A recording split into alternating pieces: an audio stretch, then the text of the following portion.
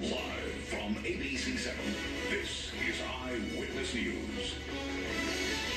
It's the first storm of spring bringing snow and wet weather to the Southland, and it's not over yet. Hello, and thank you for joining us. You're watching Eyewitness News at 8 live on ABC 7, Hulu Live, and wherever you stream.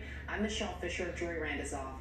The storm bringing scattered showers across Southern California today. Shayla Jordan has been tracking the conditions for us. We can see the radar behind me uh, lit up tonight. Shayla, what's the weather looking like out there? Scattered showers, thunderstorms, snow. We are seeing all it. You can see this storm really impacting the west coast this evening. Southern California, many of you seeing scattered showers out there, light showers, but they are.